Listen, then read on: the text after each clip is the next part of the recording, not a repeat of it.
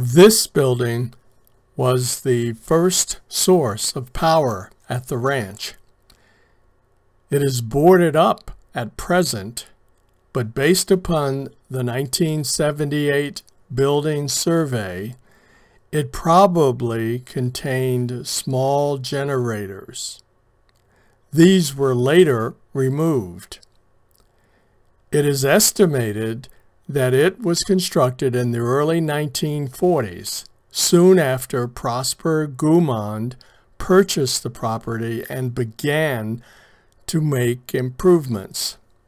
The building continues the ranch architectural style of the other buildings.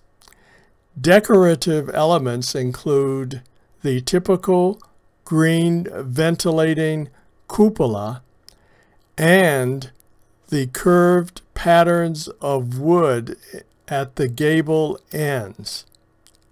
Unfortunately, due to the lack of funding, this building, like many of the others, has been allowed to fall into disrepair. Let's now take a look at this structure.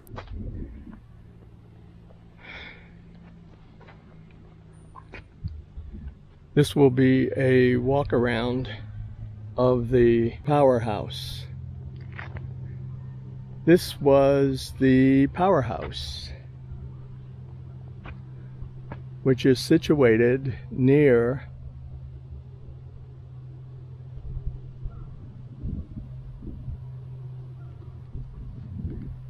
the generator building over there and then the bathhouse.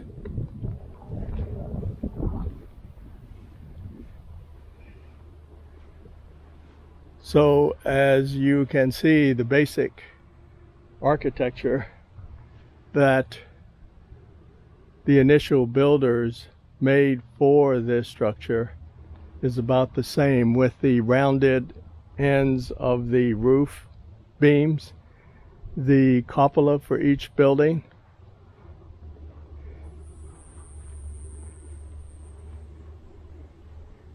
and that predominant green color.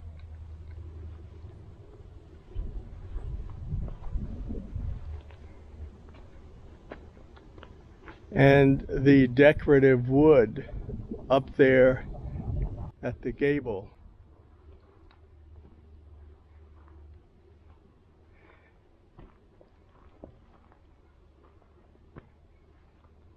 This was the powerhouse.